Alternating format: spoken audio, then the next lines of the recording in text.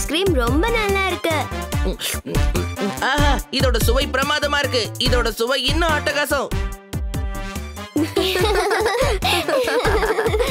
காரணம் குவிஸ் காம்படிஷன்ல எனக்கு என்ன கிடைச்சதுன்னு தெரியுமா? ஒரே ஒரு வார்த்தையில சொல்லணும்னா செலக்ஷன் அதனால தான் இந்த செலிப்ரேஷன் ரொம்ப நல்லா இருக்கு ட்விங்கிள். இந்த தடவை நீ தான் கண்டிப்பா ஜெயிக்க போற பாரு. இத பாத்தீங்களா? இவங்க ரெண்டு பேரையும் யாராலையும் ஜெயிக்க முடியாது. ஏன்னா ரெண்டு ஐஸ்கிரீமையும் நான் ஒரே நேரத்துல சாப்பிட்டேன்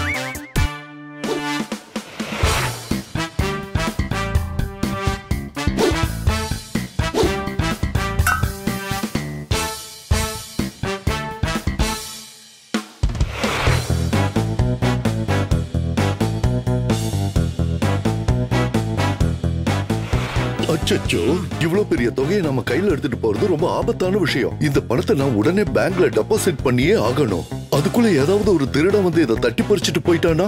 கதவு திறக்கும் போது ஒரு சவுண்ட் டக்கு டக்கு. பேங்க்ல போய் டெபாசிட் பண்ண வேண்டியது. இந்த டிடெக்டிவ் சாட்பட்டோட வேலை. பிரமாதம் சார் என்ன ஒரு பாயிண்ட் சொன்னீங்க? இப்பவே இதை நான் நோட் பண்ணல நோட் பண்ணி வச்சுக்கிறேன். சிங்கத்தோட குகையில இருந்து தப்பிச்ச ஆட்டுக்குட்டியை ஓனாம் புடிச்ச கதை உங்களுக்கு எல்லாம் தெரியும்ல. அதே மாதிரி தான் நம்ம கதை என்ன சொல்றீங்க? சார் சொல்ல வர்றது என்னன்னா நீங்க டென்ஷன் ஆக வேண்டிய அவசியமே இல்லைங்கிறாரு. இவர் உங்களையும் உங்க பணத்தையும் சேஃபா கொண்டு போய் பேங்க்ல சேர்த்துருவேன்னு சொல்றாரு சார். அச்சச்சோ என் கையில இருக்கிற பணத்துக்கு நீங்க பாதுகாப்பு கொடுங்க.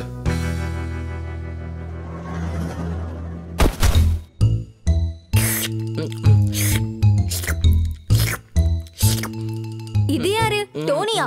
ஆமா நீ இங்க எப்படி வந்த? எங்க டோனி பாஸ் ஃப்ரீயா கிடைச்சா எதையுமே விட மாட்டாரு. சரிதானே பாஸ்?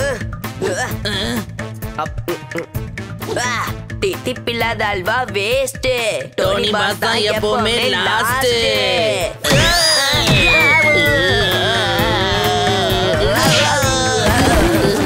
இந்த டோனி ஒரு பஞ்சு விட்டா அடி இடி மாதிரி விழும்.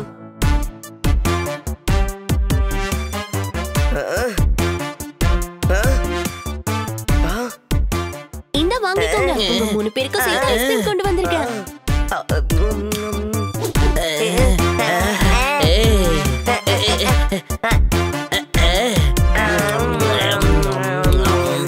இதெல்லாம் சேர்த்து மொத்தம் எவ்வளவு ஆச்சு அங்கிள்